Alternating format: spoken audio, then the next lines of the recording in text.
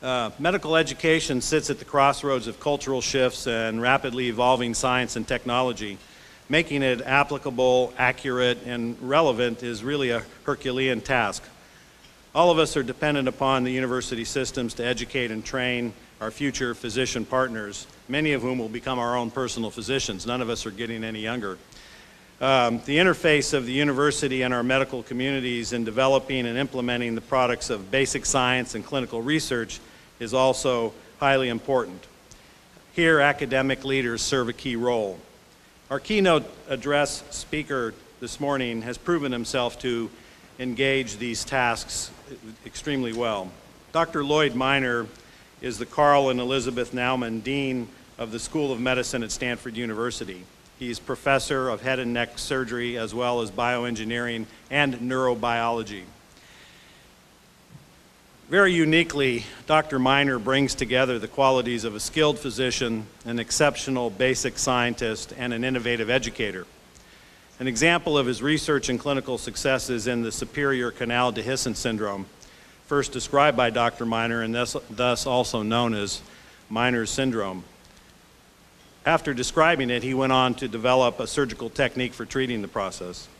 Brief highlights of his remarkable career include his MD degree from Brown University, surgery residency at Duke University, head and neck surgery residency at the University of Chicago, clinical fellowship in otology and neuro-otology at the Ear Foundation in Nashville, Nashville, Tennessee. He then spent 19 years at Johns Hopkins University School of Medicine, beginning as an assistant professor in the Department of Otolaryngology, and then completing his tenure as provost and senior vice president for academic affairs. He was appointed dean of the School of Medicine at Stanford University in December of 2012. He's going to speak to us this morning about medical education as it interfaces with us as we move into the future. So please join me in welcoming Dean Lloyd Minor. Well, thank you very much. Good, good morning. Can everyone hear me? Good. Well, it's a great, maybe I'll try standing down here, see if we can uh, get me a little closer. But it's a great privilege and a pleasure to be here this morning. I really appreciate the invitation uh, for me to be here for Dr. Joe Woo, our new chief of uh, the Department of Cardiothoracic Surgery at Stanford, who will also be talking with you this morning. And we're really honored to be able to spend some time with you. As Tom mentioned, uh, Tom asked me to talk about the role of the Academic Medical Center in healthcare today, its role presently and what its role might be moving forward. So just to start out with, I have no uh, relevant financial disclosures um, and nothing to disclose related to uh, my participation in uh, continuing medical education activities. I think there, this is a time of enormous opportunity, not only in academic medicine, but in medicine more broadly. The opportunities for delivering outstanding patient care, for impacting health, have never been greater than they are today. And there are lots of reasons for that. There's such a rapid pace in biomedical research and biomedical advances today. And there's a convergence of many different disciplines that had been considered disparate in the past. So disciplines such as engineering, and traditional physical sciences have come together with life sciences to approach in new and creative ways the most challenging biomedical problems today. And we've already seen lots of examples of that, lots of examples of where engineering approaches have impacted our ability to do physiological monitoring, our ability to come up with new methods of diagnosis and treatment. And this pace of biomedical discovery, I think, is only going to continue to increase in the future as we see more and more areas of convergence. You know, I've often said that the greatest strength we have at Stanford Medicine is the fact that we're a part of Stanford University. And our school and our two hospitals that are in Palo Alto sit right on the campus of the university. So we're right across the street from the engineering school. And increasingly, faculty members in computer science and electrical engineering, mechanical engineering, many, many faculty are now interested in biomedical problems. Not because we've told them they have to be, but because these are where the really engaging academic scholarly challenges are for today and in the future.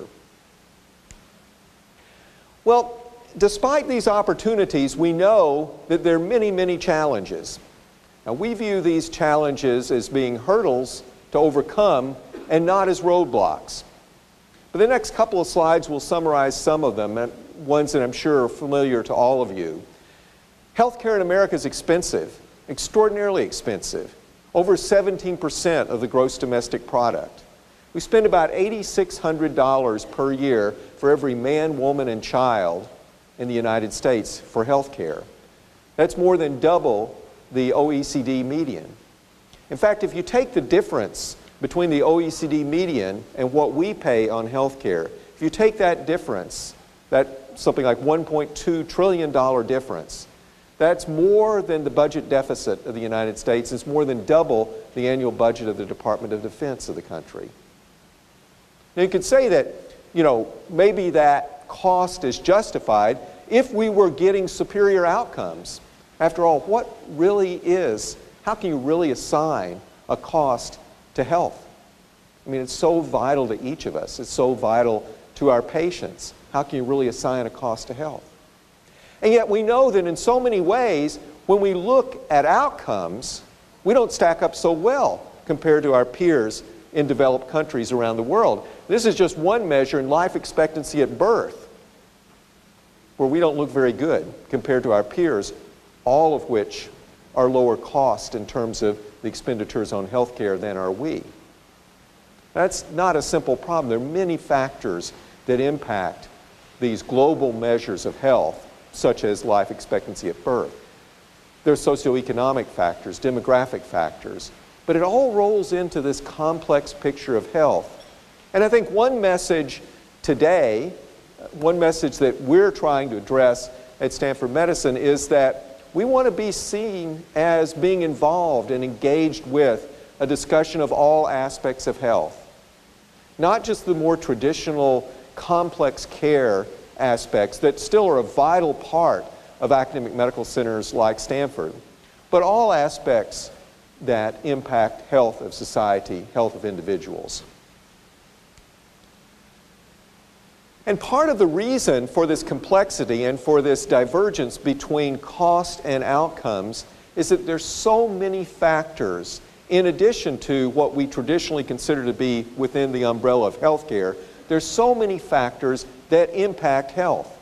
In fact, the traditional areas of medical care, if we include genomics and genetics with that as being under the umbrella of medical care, although a lot of that we can't do anything about, our genetics and our makeup, but a, only a quarter of the factors that impact health would be considered to be under the traditional domain of what we as physicians and healthcare providers traditionally address. The other factors, such as behavioral factors, economic, environmental, and social factors, account for the vast preponderance of impacts, of influences and impacts on health. And yet, increasingly, I think we have to figure out ways to see our role as broader than just that traditionally focused on medical care without turning our back on it because although in global measures of outcome, life, like uh, life expectancy at birth, we don't stack up so well in the United States compared to other OECD countries. In areas of complex care, in areas that involve getting new treatments to the benefit of our patients in a rapid way, in areas such as getting the newest, most transformative technologies to the benefit of our patients, in those areas we traditionally stack up very well compared to peer countries in the OECD. So we don't want to turn our back on what we're doing well in the most tertiary and complex aspects of medical care, but we need to see our role and our responsibility as broader than just those areas.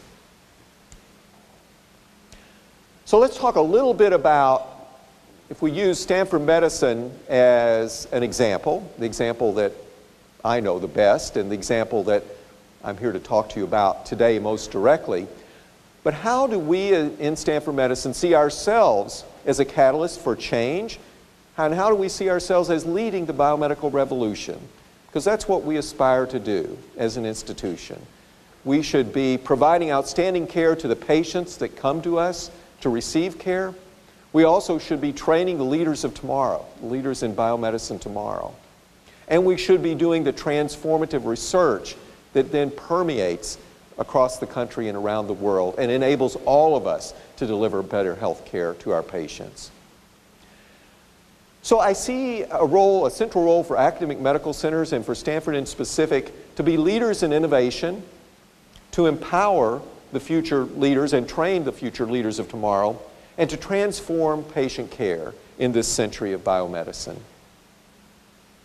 Now, as Tom mentioned, I'm an otolaryngologist, and I had the privilege a few weeks ago of making a trip up with some of my colleagues and spending some time with Tom and with the otolaryngology group, group that is a part of Northern California Medical Associates. And I'm most known in my field for the discovery of a clinical syndrome called uh, superior canal dehiscence syndrome. I, I appreciate Tom mentioning, and I, I, feel a little sheepish about the fact that it now seems to have my name as an eponym, and I'm sometimes asked, well, well what do I feel about that? How do I feel about that? And I guess, I guess I'm just happy I'm not Dr. Foley uh, in that regard, since there has to be an eponym. But, but anyway, so, so I, did, I did describe this and, and developed a surgical treatment for it, and I'm, I'm pleased about that. There have been lots of patients receive benefit from the surgery, uh, not just from me, but from the now you know, hundreds of otologists, neurotologists around the world that do this surgery. Um, and this is a slide on the left there that shows you what the problem is. This is a picture through the middle cranial fossa of the roof of the superior canal. And there's a, sort of a, a fleshy looking area there that ought to be covered with bone. That's the opening in the, in the roof of the superior canal that causes this problem in patients that have the syndrome. And it can be a very debilitating syndrome okay? And the surgery uh, really can be transformative in patients' lives. But look, this is not diabetes, it's not obesity, it's not high blood pressure. It's not the problems by and large in the patients that are coming to your office every day of the week. So, you know, traditionally in medicine, particularly in academic medicine in the United States, we've been focused on solving these extremely complex problems, but complex in a specifically defined way. So this syndrome has a very clearly identified, defined physiological basis. We probably understand it better than almost any other inner ear disorder, at least in any other inner ear balance disorder. But it doesn't represent the complexity of, for example, the problem of obesity in the United States today. I mean, wow, talk about a problem that's truly complex because it has social factors. It has marketing demographic factors in terms of our diet and how the diet in the United States has changed and why it's changed. It for sure has physiological factors, understanding metabolism, being better able to manipulate metabolism. And it's loaded with behavioral factors as to why people get into a, a pattern of, of diet and lack of exercise that leads to obesity. And so it's hard to just confine an approach to, is it possible to confine an approach to obesity that just takes one route? That just takes the route that I, as a neuroscientist and, and, and otolaryngologist, neurotologist, was able to pursue in defining this syndrome and developing an effective surgical treatment. And that's an important role for academic medical centers in partnership with you, with all of you, to be able to tackle these multifaceted, complex problems that are such an enormous challenge and burden for healthcare, not only in America but around the world. So, in order for us at Stanford to be able to better do that, we need to partner. We need to partner with you, with groups around Northern California, to develop a regional network of care, and that is shown on the slide here of where we now have outpatient facilities, relationships through the network we're building through University Healthcare Associates and Packard Children's Health Associates in order to interface with community-based practitioners, in order to extend our ability to have a positive, what we hope will be a positive impact on primary care in our region, and in order to develop those referral patterns that are so important to us in our complex care uh, that we deliver uh, at our two hospitals uh, located in Palo Alto. So there are multiple reasons for building up this network of care. If we look at academic medical centers in the past, we've really been focused on what we might consider to be the present, and the future for one of the four aspects of clinical care delivery. And that is, we've been principally focused on complex care. But there are other aspects, other very important aspects to healthcare delivery. There's the, the, the important aspect of the network of care as shown here on this slide. There's increasingly accountable care, and we'll talk a little bit more about that. Shifting the way we're paid as healthcare providers from a fee-for-service environment where each service is reimbursed to a more global risk stratification where we as a network of providers and healthcare institutions assume responsibility for the cost and outcomes-based risk for a covered population of patients.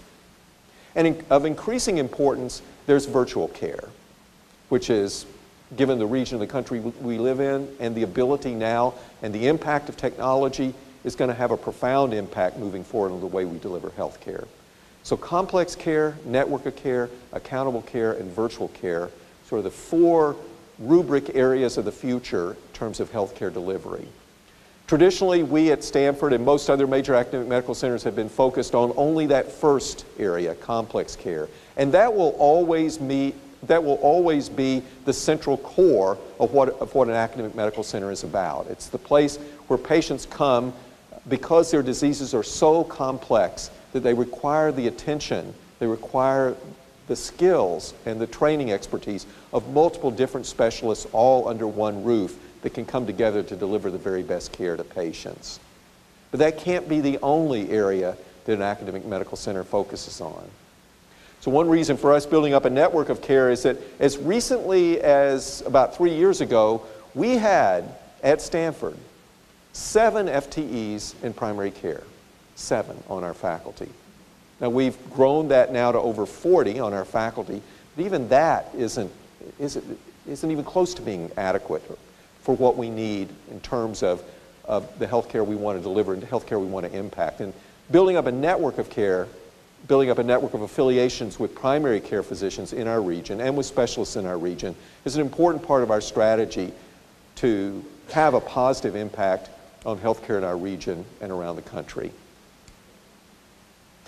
Now, in the past, academic medical centers have focused mainly on acute care. It's that those episodes of care, the very sickest patients at their very sickest points in their illnesses.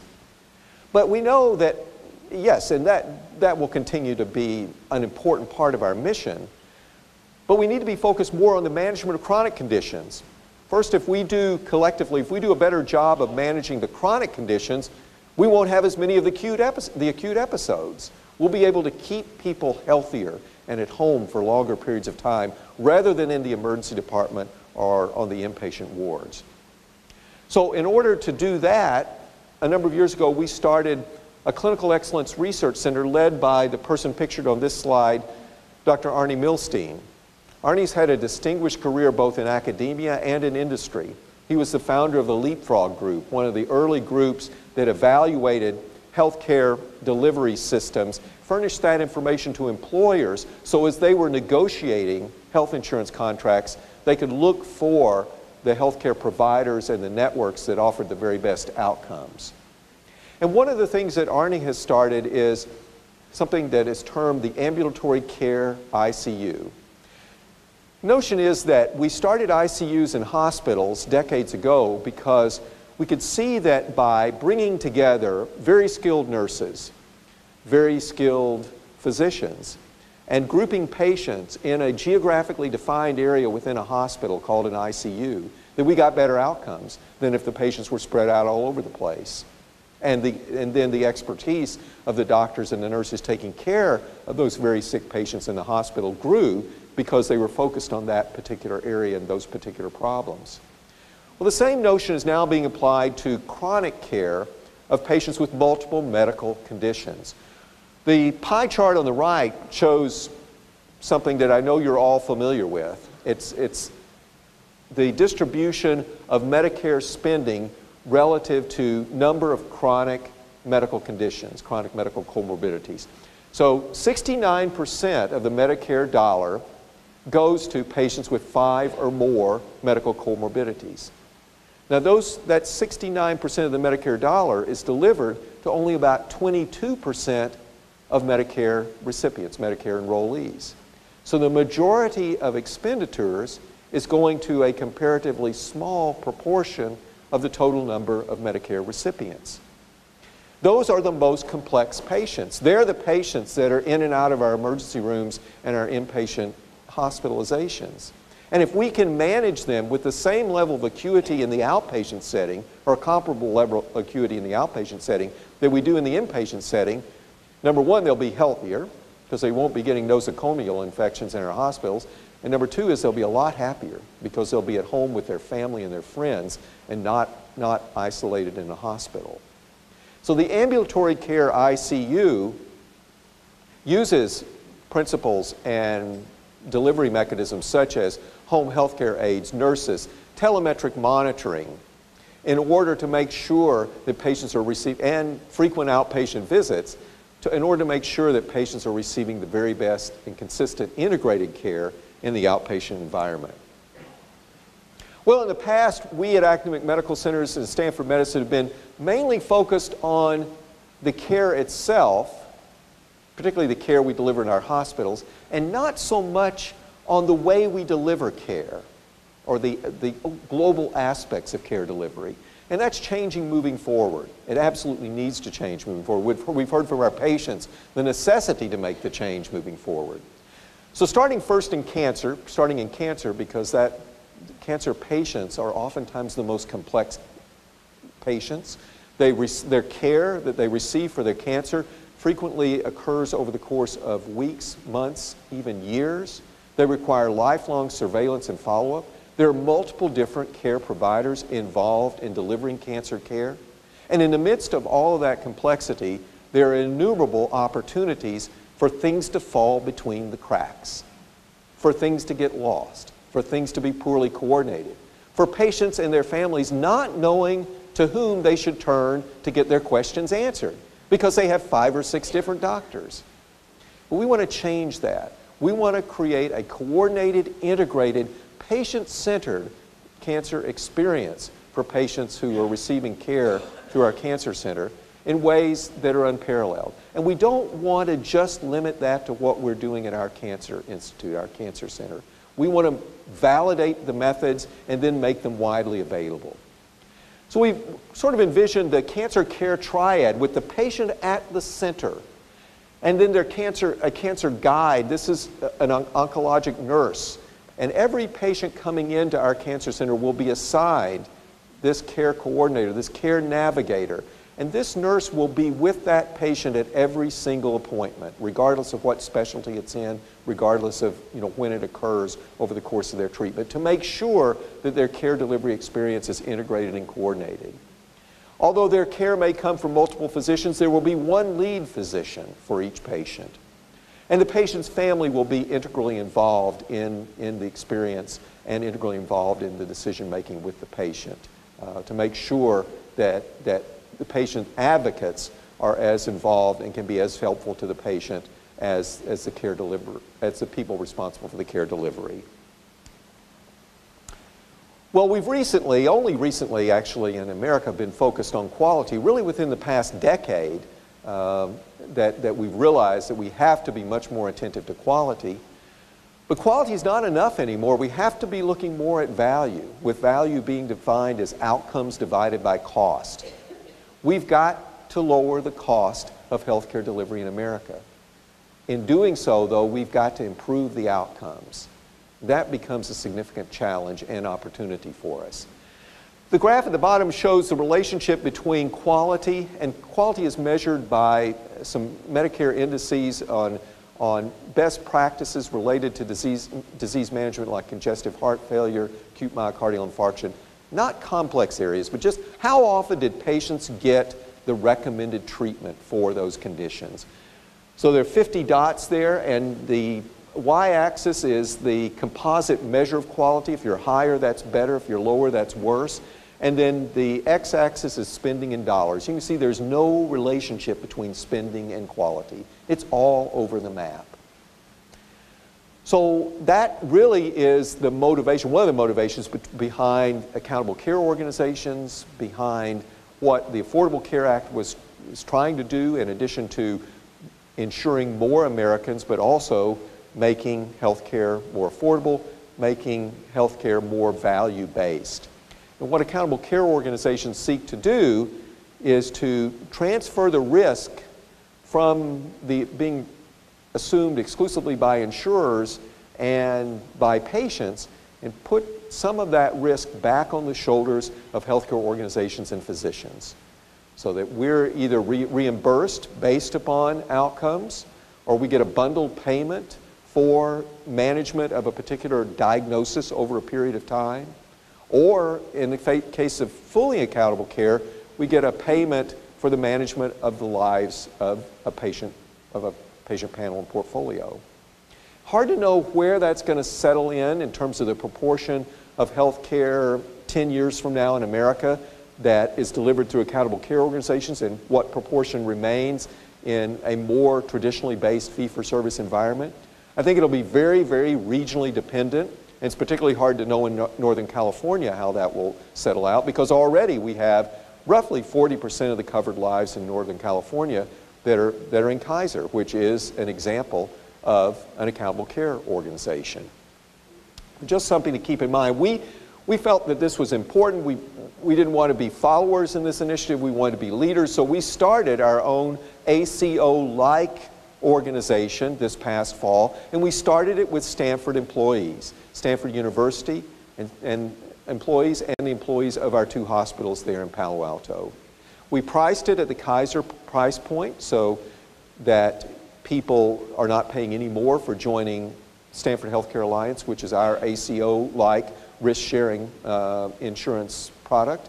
We priced it identical to Kaiser so that people can make that choice, uh, not based upon cost, but based upon where they felt like they could receive the care that they needed and wanted to receive. All Stanford faculty are, are, are care providers in uh, the Stanford Healthcare Alliance. After we've shown that we can make this work with our people, we want to make this more broadly available to corporations, to companies uh, in, our, in our region. Now, of course, to make something like this Healthcare Alliance, like this ACO-like product work, to make it work, we have to have a network of primary care physicians so that patients and their families can get care close to home and so that this network can then refer the patients that need to be referred to our facilities and to our specialists and to our hospitals in Palo Alto in a fluid and timely manner. Well, we've always been in medicine focused on the patient, and let's always hope that never changes. That should always remain our primary responsibility is to the lives and well-being of our patients. But increasingly, we know that to deliver the very best care to each individual patient, we have to be more focused on population health. Because it's through the study of populations, through the study of groups of patients, that we can learn how to deliver the very best care to each individual patient based upon his or her genetic makeup, based upon phenotypic characteristics, based upon their responsiveness to certain medications and not to others. So we have to see ourselves as building a learning healthcare system. This is a major priority for us at Stanford. So what do we mean by a learning healthcare system? Fundamentally, it's using evidence-based practice, so implementing and following and monitoring the care delivery pathways that we know are the best care delivery pathways in diseases that have already been well studied, such as diabetes. So using that and implementing evidence-based practice, but then constantly learning from what the care we're delivering to develop an individualized approach to care for each patient. So evidence-based practice driving practice-based medicine in a constantly learning environment. To do this, we need to harness the power of big data, enormous amounts of data available today. Stanford traditionally has been, has had enormous strength in computation. We played a big role in the development of Silicon Valley, and we still have some of the true thought leaders in both dealing with huge data sets, but also in developing the analytical tools based upon inferential reasoning. You know, one of the challenges in big data is, is there, it's hard to do hypothesis-based testing or research. What you're looking is for relationships between and among elements of the data. And then you have to evaluate the strength of those relationships in order to get back to inferences about what could be the causation. And healthcare delivery is a great place to do that sort of research and have that sort of impact. In the past, of course, and in the future as well, the contact between a physician, a care provider, and a patient will always mean, will always be at the core of healthcare delivery. But no longer will that be the only way we deliver healthcare.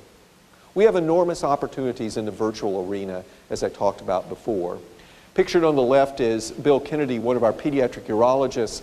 Um, so Bill has a, has a clinic in Monterey, and I think he goes to that clinic physically once a month. But through a telemedicine setup, he communicates with patients and families and providers in Monterey on at least a weekly basis. So he can do pre-op evaluations through telemedicine. He can do post-op follow-up. And the patient satisfaction through this sort of interaction has been enormous uh, because it's more timely interaction with the physician and, and also it, it involves, it cuts down on the trips back and forth both for the patients and for the provider. So we'll see telemedicine evolve, I think, even more. It doesn't have to be as sophisticated as uh, the true telemedicine ports, although those have now gotten very sophisticated, incorporating things such as ultrasound and lots of other advanced diagnostics. But there can be secure methods of uploading pictures. So baby has a rash, take a picture with the iPhone, transmit it in a secure way to the doctor and make that picture a part of the patient's medical record so it can be referred to down the, down the road. That's happening today. It needs to happen in a much more fluid way, both for patients and providers, than it is today. We want to be a leader in, in, in developing and implementing those virtual technologies and getting them out to, to others, particularly to others that are in our network first and then more broadly. Where these types of virtual innovations have also impacted medical education.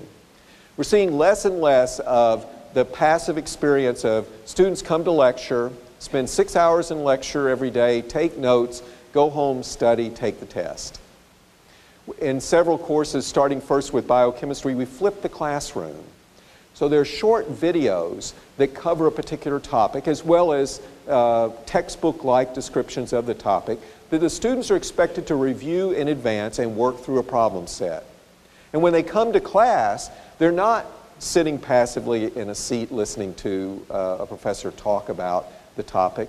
They're interacting with their colleagues and with the professor on the problems that they've worked on solving. This has led to an increase in attendance at the classes, for one thing, but it's also led to a marked improvement in the performance of the students on the exams that are given in the course because it's just a more effective way to learn than sort of the passive interchange between a faculty member and a student. So expect to see that broaden, and of course, this has the potential to transform continuing medical education as well. In the past, we as doctors have been focused on our role as an individual, and we don't want to ever get away from the accountability and the responsibility that, that we have as physicians. But increasingly, we need to see ourselves as integral members of a team. And as the team, and as the team as being the major implementer of healthcare delivery because as a team we're far more effective than we are as a group of, of isolated individuals. Teamwork has been shown to be the foundation of coordinated and safe healthcare delivery. Uh, when Peter Pronovost, one of my uh, former colleagues from Johns Hopkins and an innovator in uh, safety initiatives in the country, he came up with a simple checklist for inserting central lines.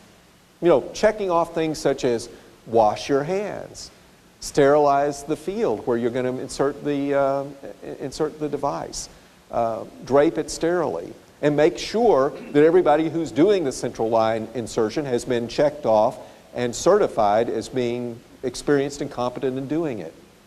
And that's led to, as has been widely publicized both in the medical literature and the, and the lay press, a marked, reduced in, marked reduction in central line infections and lots of other morbidities in ICUs.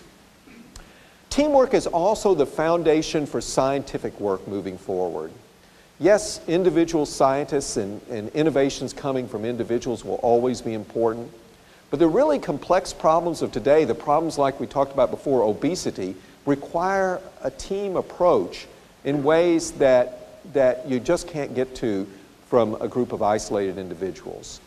So through our uh, Clinical Translational Science Award, our CTSA, which we call Spectrum, we're providing the catalyst, the motivation to bring our scientists together, to work together in groups and teams to solve these complex problems. In the past, we've been focused on discovery and innovation, and that will remain a mantra that I think innovation for Stanford will always be at our centerpiece. But in the future, we also want to be focused on translation, getting those advances to the benefit of patients, and in the future, even more focused on origination. So if you think of innovation at its extreme, it's about being the first mover. It's about being the originator for new ideas. And one of the things that I focus on a lot as dean is making sure that our faculty have the resources to be originators. Because NIH grants, by and large, don't support really innovative, originating research. They support research that's been proven to have a, a track record, proven to work. Because when funding is tight, and it is very tight for the federal government today for research, the funding gets awarded typically to the investigators and to the projects that have a known track record. That people can say, well, we know we're going to get good results. And yet, all of us know that really transformative innovation and advances have been built on the backs of failures. So we want to fund innovation and we want to fund some failures as well because we know that those failures are the precursors for successes moving forward. This is a picture from last year of our MD PhD retreat uh, that we have every year. Currently, 12% of the graduates from Stanford School of Medicine graduate with a PhD degree in addition to an MD degree. That's one of the highest percentages in the country, and we want it to be even higher. So we'll probably grow our cohort of MD PhD students by maybe a third over the course of the next five years or so, because we believe the training experience we provide for these remarkable young people uh, is exceptional at Stanford. And we want to be a place where we're known for training uh, scientists, clinicians uh, moving forward. And we want to broaden the definition of the type of scholarship done by MD PhD students. Yes, there will still be the largest number doing traditional biomedical research, but we have one MD PhD student today who's getting her PhD in economics from Stanford. We have a couple who are getting their PhDs in sociology, I think three or so in anthropology, and I would like to see that group, that cohort of MD PhD students in the social sciences grow moving forward because they're the people that are going to be able to grapple with these difficult socioeconomic factors that have such a profound impact on healthcare in addition to the more traditional biological factors. Federal support, as I said before, is diminishing for research. We've our faculty are outstanding. They've traditionally done quite well, but we can't be complacent. I spend a lot of my time interacting with our donors, explaining to them the remarkable work that our faculty do, are doing, and, and enlisting their support in making sure that our faculty continue to do amazing work. Know, one example of some of this innovative, uh, originating work that's going on is being done by Joanna Wysocka, pictured on this slide. She's a developmental biologist, uh, developmental and, and studies developmental genetics, and she's studying the genetics of facial expression, how the genetic programming of facial contour, facial expression is developed. And of course, that's related then to cleft problems and, the, and lots of other craniofacial abnormalities that, that we don't have a good genetic understanding for. Research that, yes, is federally funded, but at its cutting edge forefront is not going to be competitive for federal grants. And, and through a series of over 20 innovation awards last year, we were able to support these out of the box type projects that will, in the future, lead to the transformative advances. So the pressure for federal grants is on short-term results, it's on deliverables in a very defined period of time. And truly innovative research can't be constrained to that sort of a, a, a rigid time frame. So our leadership role, our vision is to lead the biomedical revolution. To do that, we need to have excellence in each of our three mission areas, patient care, research, and teaching. That's necessary for leadership, but it's not sufficient. In order to lead, we have to be preeminent.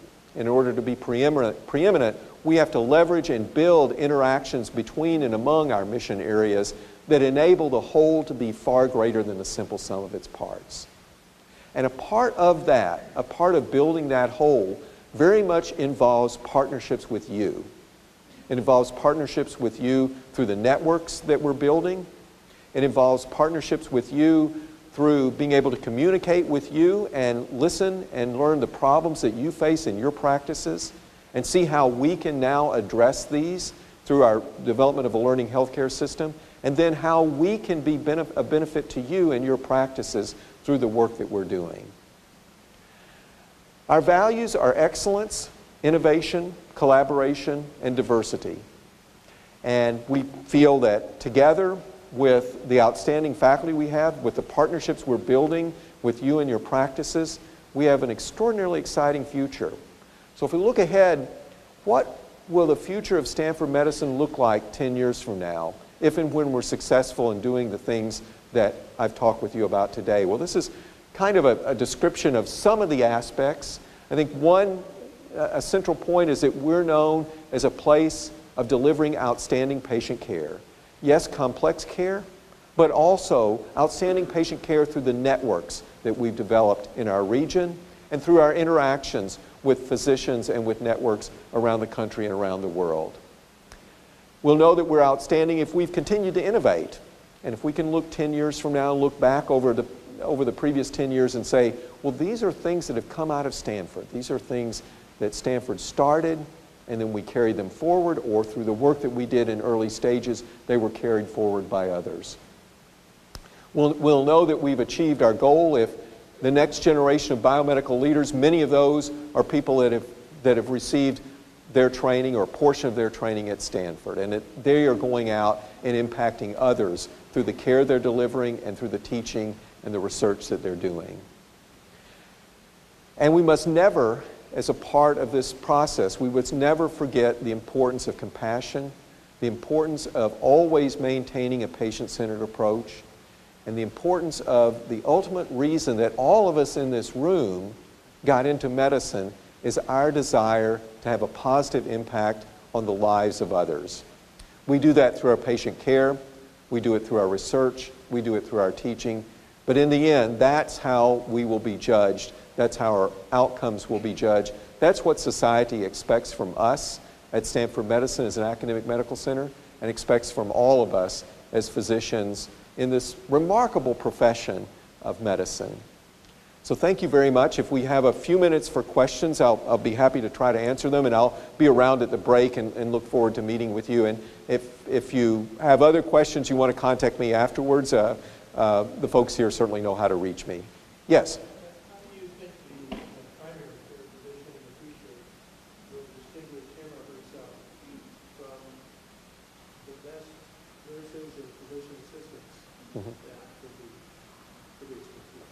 So the question is, how will the primary care physician of the future distinguish himself or herself from the best nurses and uh, advanced practice providers that are, uh, that are also in the practice environment? I think in many cases there won't be as large of a distinction. And the role of primary care physicians, I think, is evolving. It will evolve differently in different practices and different places. But the role of a primary care physician is interacting on a daily basis with advanced practice providers and having a larger panel of patients because that primary care physician is working closely with advanced practice providers, that in many practices that will become the model of the future. Not in all, because some patients won't want that sort of experience and because some primary care physicians won't, will not want that sort of engagement with advanced practice providers. So I don't think that one size will fit all, but I do think that advanced practice providers are playing an increasingly important role in, in the delivery of primary care in many different settings. Yes? How many students out of your classes the last few years have gone into primary care? Great, great question. And that follows up on something Tom asked me to address. Um, it- it- Tom, when I spoke to him before this talk, said, congratulated us. I don't place a lot of stock on U.S. News rankings, but, and there are a host of problems with them. But Stanford School of Medicine was ranked number two uh, in medical schools in the United States. If you went down on the list and you, you looked at the various sub areas, in primary care we were ranked somewhere in the 60s or something like that. And we have not in the past placed an emphasis on primary care. I'm pleased that in June of last year, when we graduated uh, 96 new physicians, 12 of them matched in primary care focused residencies, either family medicine or a primary care internal medicine residency or combined med peds residency. 12. That's the highest proportion of any class we've ever had. Is that enough? No, probably not. So we're developing, we, we now have a primary care interest group. Our, the faculty, I mentioned that we went from seven FTEs to now over 40. All of them are engaged in, uh, in, in, in teaching and training our medical students. We're looking for opportunities to get our medical students into community-based primary care practices so that they can have an opportunity to, to observe and interact with primary care physicians and with patients in a primary care environment. We're also building what I think is, schol- is scholarly framework around primary care, particularly through the learning healthcare system and population health sciences. I would love it if some of our MD PhDs were focused. In fact, the, our student who's getting, um, her, one of our students who's getting her PhD in sociology as well as her MD is going to go into primary care. She has a couple years left on her PhD, but she plans to match in a primary care residency afterwards. So- So it's a process, this is a culture change, it's going to take time for us uh, to do it. But what I've told our students and, and, and, and our faculty is, I am just as proud of those 12 students that matched in primary care residencies uh, and left our school last June as I am of the MD PhD students that are going to go off and do amazing research or the MD MBA students that have already started three companies and are going to start 10 more in their career. I'm just as proud of those primary care focused students. And I think how we affirm and value our students plays a big role in terms of how they decide what they want to do. Another thing that I, I think helps us at Stanford is we have the lowest graduating debt of any medical school in our peer groups. About $96,000 per year is our average graduating debt. Now that's still high, but the mean across the country right now is around $150,000. But it's something that we've worked very hard on through, through financial aid and something that I focus on a lot with my fundraising and how we, we allocate our endowment payout uh, is to make sure we can keep our students' debt down. Of course, for students that are graduating with several hundred thousand dollars worth of debt going into primary care is a really big commitment because they're making a commitment to an income differential that right now with the way we reimburse in the country is quite large. Yes? Some people suggested that, that to that point, you go primary care, you should be somehow Yeah. like that. Have you considered that? Well, I, I, think it's, it's something that enters, needs to enter into the national debate, yes. I think it, it, what was proposed, one proposal I saw was to, if you will, tax some of the subspecialty residencies and, and funnel that back to the primary care residencies to enable more debt forgiveness. I for sure think we need to look at ways to help, and we already do this with housing for faculty we hire, but also ways to help uh, with debt assistance for those people that are entering specialties that are not going to remunerate as well as special, as well as the specialties. I think we need to explore those mechanisms. Uh, Just uh, when I think about the care of uh, people who live in settings of care where they have trouble getting into a physician's offices, I think of uh, assisted living uh, facilities, uh, and also even in post-acute care where I work, telemedicine would be a huge advantage for physicians uh, allowing, uh, and where rapid response is so important and so seldom happens. Is that uh, on the immediate horizon, uh, uh, kind of generalizing that out to these, uh, your partners? Yes, so the, I think, so we can look at telemedicine in terms of a telemedicine system, and there are many out there. One is made by Cisco, and, and, and there is an upfront cost to that, the unit and then the bandwidth for the, for the transfer. But uh, our, the, the EMR that we use uh, at Stanford is Epic. Right now, we can embed, patients can securely transmit a photo uh, through the MyHealth portal that will then securely enter the, uh, the system and be viewed by the provider. Now, stepping that up to then getting video links is, uh, is something that's in process. So there's a lot of low-tech um, virtual interaction, given that all of us, most all of us have smartphones these days, that, that I think can be explored. And it's really just a matter of working and transforming the EMR, and we, we've got folks working on that. But I agree with you, that could be really, really transformative if in the middle of the night there's a problem and the nurse could just take a video of it and, and send it, and the provider has it immediately. Well, thank you very much. Tom, thank you. Thank you, Lloyd.